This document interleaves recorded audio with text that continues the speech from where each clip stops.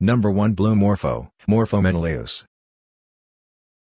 The blue morpho, Morphomenelaeus, is a stunning butterfly, renowned for its brilliant, metallic blue wings, which can span up to 5 to 8 inches across.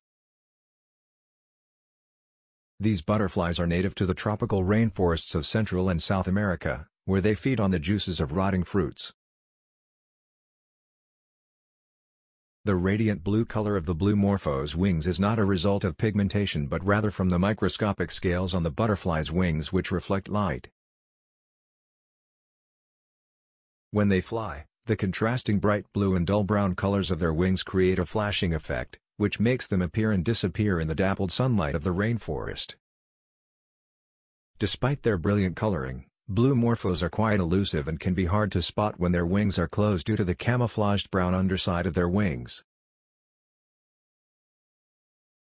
Number 2 Swallowtail Butterfly, Papilio polymnestor.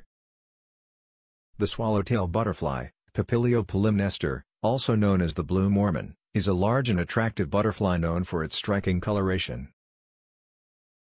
Its wings feature a stunning combination of blue, black, and red, with the blue hue covering most of the upper side of its wings, hence its name.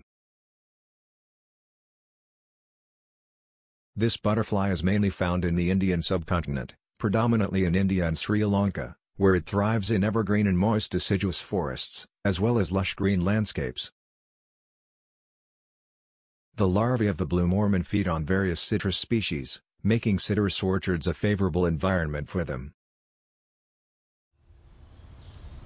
Despite being frequently sought after by collectors due to their beauty, swallowtail butterflies are known for their quick and erratic flight, making them challenging to catch.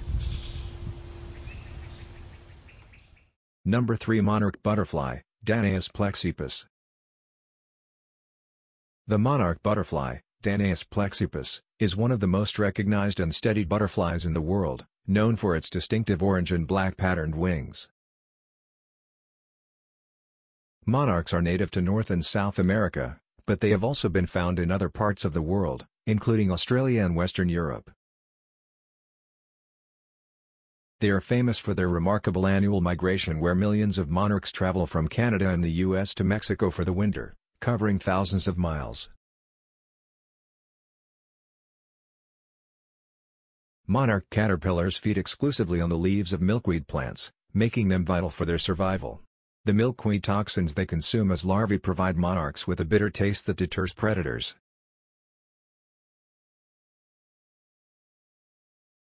Monarch butterflies go through four stages during one life cycle, and through four generations in one year, an example of a phenomenon known as the four-generation year.